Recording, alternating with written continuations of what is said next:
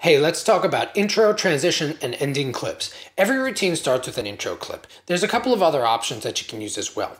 The intros, transitions, and endings can all be found in the transitions category.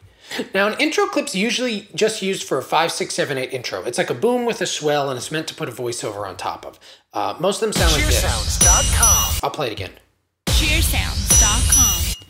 Now, the transition clips are like that as well. They're booms and swells and just rhythmic elements. They have no vocals. And the transition ones are meant to put voiceovers on top of, or you can just use them alone if you want to use it as a cheer section in your routine and clip. Pay attention, take notes, might learn something from us. And if you just listen to that transition by itself, which is transition background number three, then it sounds like this. Cheersounds.com.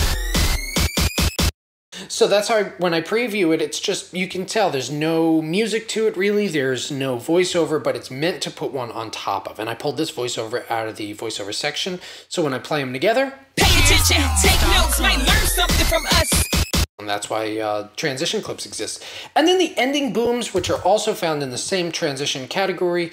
Uh, the ending booms are just booms, they're explosions. We use them at the end of the routine. Uh, though I see a lot of customers put them throughout their whole routine just to add an extra impact every once in a while.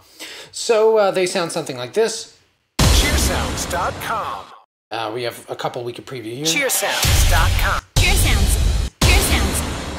So that's intros, transitions, and endings, and that's pretty much how we use them.